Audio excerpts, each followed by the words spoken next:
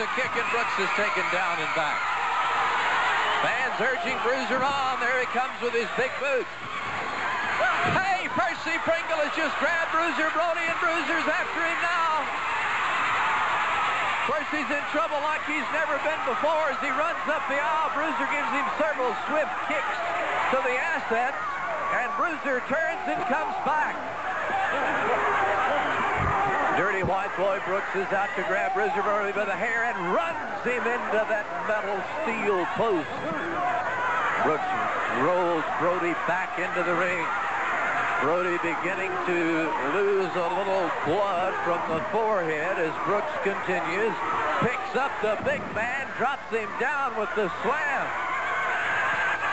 Down comes Tim Brooks, but Brody's out of the way. Stomp to the head. Brody has Brooks, throws him near side. On the rebound, it's another Brody boot.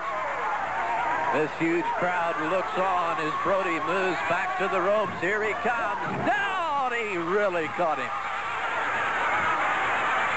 And down the aisle comes Percy Pringle and Dirty White Boy Lynn Denton and his bruised